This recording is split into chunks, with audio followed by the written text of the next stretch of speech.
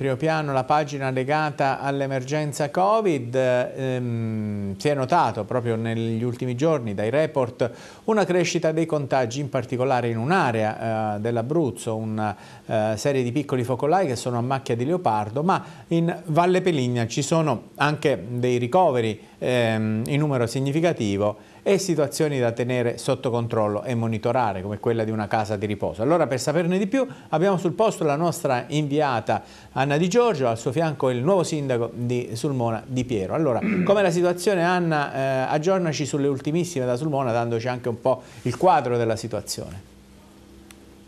Sì Carmine, buongiorno a te e ai nostri telespettatori. Hai riepilogato bene tu un po' eh, il senso anche della nostra venuta qui a Sulmona, accanto a me il sindaco Gianfranco Di Piero. Eh, con lui vorremmo proprio fare il punto della situazione eh, su quanto sta accadendo eh, nella parte insomma, centrale d'Abruzzo, la Valle Peligna, territorio eh, particolarmente eh, tenuto sotto controllo in questo momento a causa di un aumento insomma, dei contagi, un aumento che per, per la verità ci fa ehm, ci, ci, ha portato a parlare proprio in generale di quanto il virus continui ancora a circolare, non soltanto qui, un po' ovunque in Abruzzo, in Italia e nel resto del mondo, ma adesso noi ci concentriamo proprio su questa zona perché è quella che è maggiormente attenzionata a causa dei numeri eh, che eh, sono eh, un po' in crescita. Allora, Sindaco Di Piero, qual è la situazione? Si era parlato di eh, contagi anche tra sanitari, eh, alcune classi di alcune scuole di Sulmona in quarantena, una, un centro per per anziani, insomma una casa di riposo che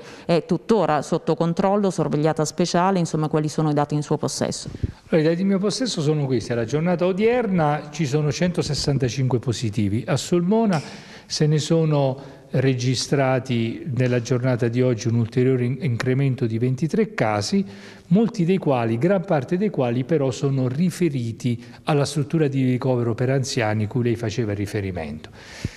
In generale bisogna dire questo, che nostra, nel, nel, territorio di riferimento della ASL e soprattutto nella nostra città si è registrato un incremento notevole di casi di positività intorno alla metà di ottobre. Lì c'è stata, stata definita un'esplosione di casi proprio per significare la consistenza numerica particolarmente significativa dell'incremento.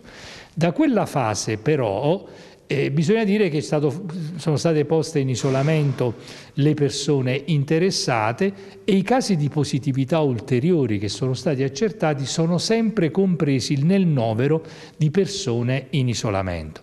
Questo ci consente di dire che la, ci, ci consente di dire che la fase sarebbe in regressione, uso il condizionale, sarebbe in regressione, fatto salvo il caso della struttura per anziani cui a lei ha già fatto riferimento dove si è manifestato un focolaio ad hoc, però anche lì le autorità sanitarie mi dicono che si tratta di un fenomeno circoscritto all'interno della, della, casa, della casa di riposo, della struttura per anziani.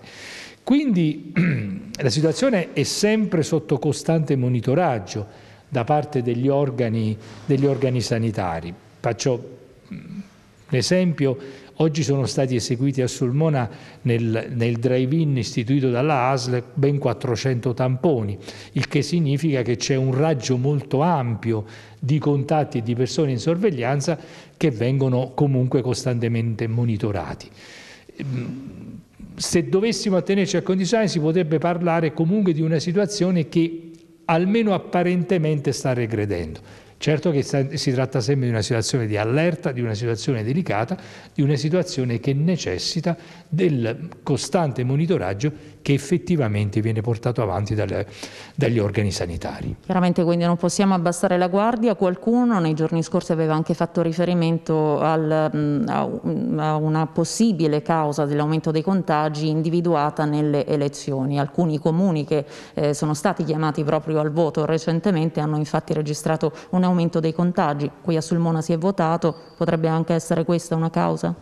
Io facendo una valutazione meramente empirica eh, in qualche modo ho ricondotto questo anche alle elezioni perché è successo a Sulmone, è successo a Roseto, è successo a Vasto, è successo nei comuni che sono andati di recente alle consultazioni elettorali.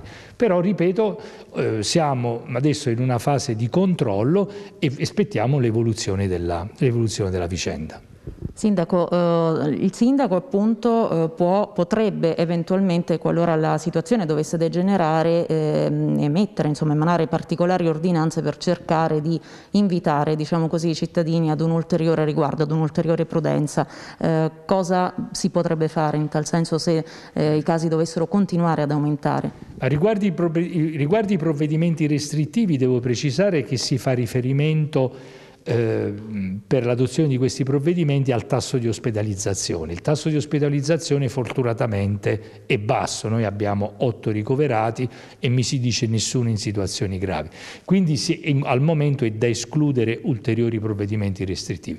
Quello che invece si può e si deve fare eh, per il ruolo del sindaco, ma anche per la sensibilità comune di, di, ciascuno di noi, è quello di esortare le persone ad attenersi alle norme di prevenzione che sono state dettate dalle autorità sanitarie, quindi il distanziamento, l'obbligo di mascherina, l'igienizzazione delle mani e anche un invito perché viene dalla comunità scientifica mondiale che è quella di sottoporsi alla vaccinazione, soprattutto per chi finora non si è vaccinato. Sulmona ce l'ha tra l'altro un centro vaccinale, funziona, quindi l'invito è proprio questo. Sulmona ha un hub vaccinale che è perfettamente funzionante, che ormai funziona da, da molti mesi e dove ogni giorno si alternano degli operatori sanitari e dei volontari che stanno veramente in modo encomiabile portando avanti un'attività. Sì, noi, io mi permetto di esortare le persone a recarsi al lab vaccinale e sottoporsi alla vaccinazione. Carmine, le domande sarebbero anche altre, ma so che Grazie. i tempi del TG impongono di andare avanti con la scaletta, per cui se tu non hai altre domande da studio noi ti restituiamo la linea Benissimo. ringraziando appunto Grazie, ci rimettiamo al tuo speciale delle 20.05 Anna in cui avremo ulteriori approfondimenti.